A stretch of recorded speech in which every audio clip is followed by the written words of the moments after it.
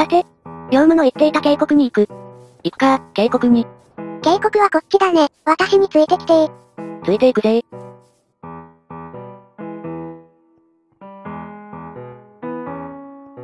ていうかマリサはなんでズボンだけなの？お前が私のトレードマークをズボンとか嫌がったから仕方なく履いてやっているんだ。でもこれで見分けがつきやすくなったね。みんな顔が同じだからな。こっちじゃなかったわ。どんなところに渓谷あったのよ？後ろにクリーパーがいるぞ。危ない。爆発する前に倒す、こんやろー。爆発してますけど。これは連れてきた業務が全て悪い。すがすがしいほどの責任転嫁だ。くそ。こいつ防具着てたのに一部分も落ちなかった。洞窟探検している道中で揃えていく作戦。果たして私の防具はこの探索で全て揃うのだろうか。っていうか脱線しすぎじゃない？いろいろなことがこの一瞬で起きすぎ。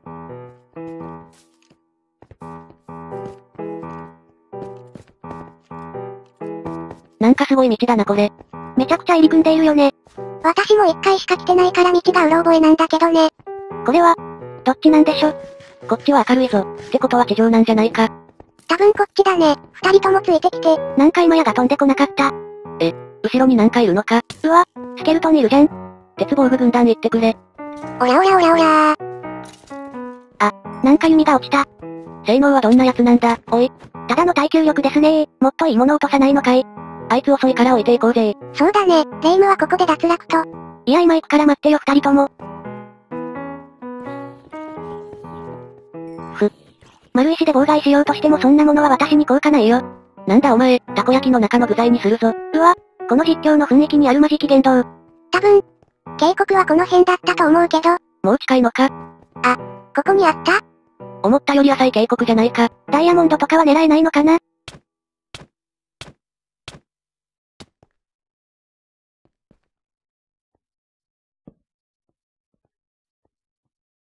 おいズボン何してくれてんじゃ。なんで落ちているんだよ。マイクラ初心者じゃあるまいし。よろしい、ならば戦争だ。さっきからこの人たち物騒すぎるんですけど、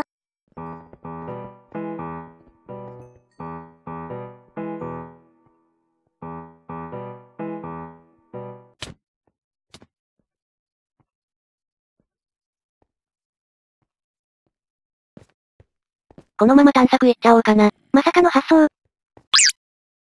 二人がふざけすぎているから全然進まない。これはズボンさんの謝罪会見待ちですね。ズボンさんって言うんじゃねえよ。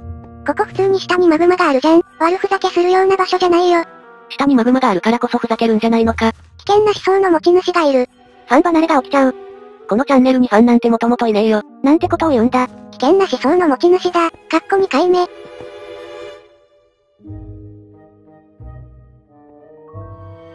やばい、ズボンが来た、逃げろ。さすがに落とさないぜ。ズボンだけのやつは信頼できないんだよ。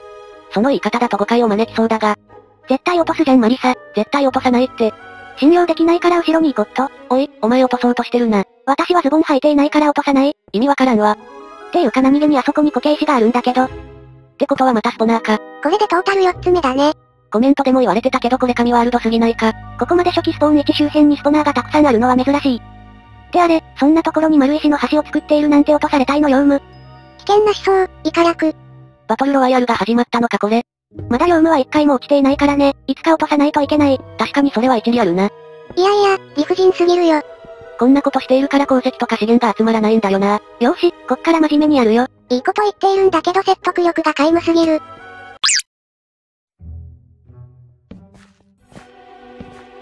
二人ともこっちの洞窟行ってみようよ。あれ、ヨウムはどこへ行ったんだ？多分こっちじゃない？あそこか、わからなかったわ。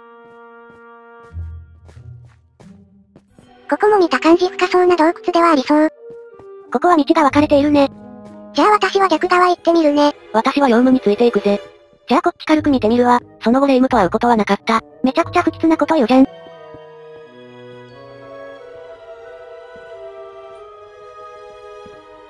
思ったよりこっちは広いみたいだよ。こっちもこっちで広いみたいだよ。奥が見えないくらい続いているな。マジか、じゃあ私もそっちに行こうかな。いいんじゃないか。あれ、丸石。誰だ？ここの入り口を丸石で封鎖したやつは。なるほどね。犯人はズボンか。なぜわかった？犯人はズボンだ。ってパワーワードすぎる。マリサとヨウムはこっちに行ったのかな？あ、いたいた。っていうか今回の目標ってそもそも何なんだ？一応警告を見ながら鉄をもうちょい確保するって話じゃなかったっけ？なるほどな。結局洞窟探検になっちゃってるけどね。あ、こっち行き止まりだった。じゃあ私の方の洞窟に行った方が良かったじゃん。誰だよ思ったより繋がっているって言ったやつは。ヨウムだな。マリサも結構繋がっているみたいなこと言ってたじゃん。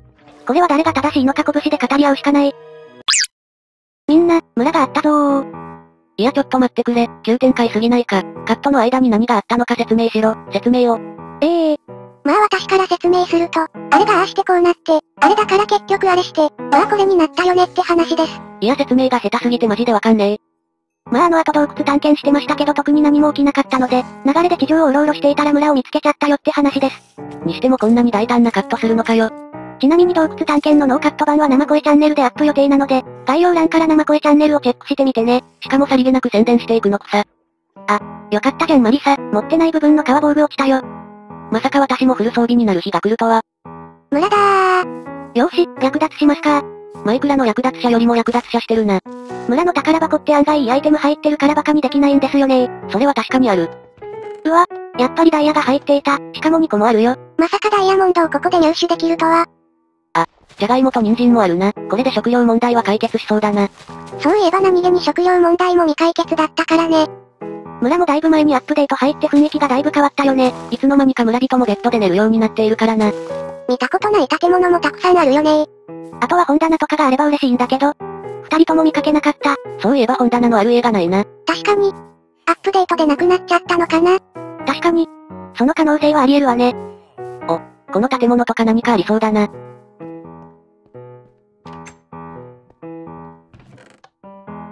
チェストプレートがあったぞ。これで川の防具から卒業できるな。マリサの防具がだんだん進化していくの面白い。ズボンだけで探検しても案外道中で揃うみたいだな。なんか説を検証する番組でそんな企画やってたよね。道中で福意識揃うのか、みたいな説ね。ある程度もらえるものはもらったから拠点に戻るか。そうだね。インベントリもいっぱいだから戻ってもいいかもしれない。この村には来ることあるかな？いやー、もう何もないから来ないんじゃない取るだけ取ってもう二度とこない？人のやることじゃね？え。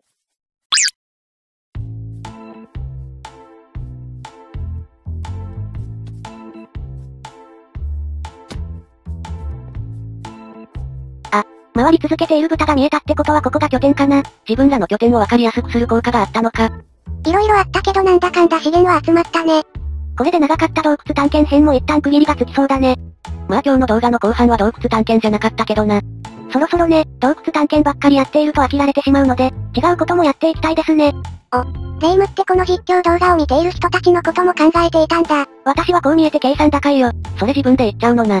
手に入れた作物も植えちゃいますか。そうだね、食料もあとちょっとでなくなっちゃうし。面倒だからいずれは畑も自動化したいな。ああ、確かにその方が楽かもな。畑の自動化って思ったより楽だしね。そろそろ家も作りたいね。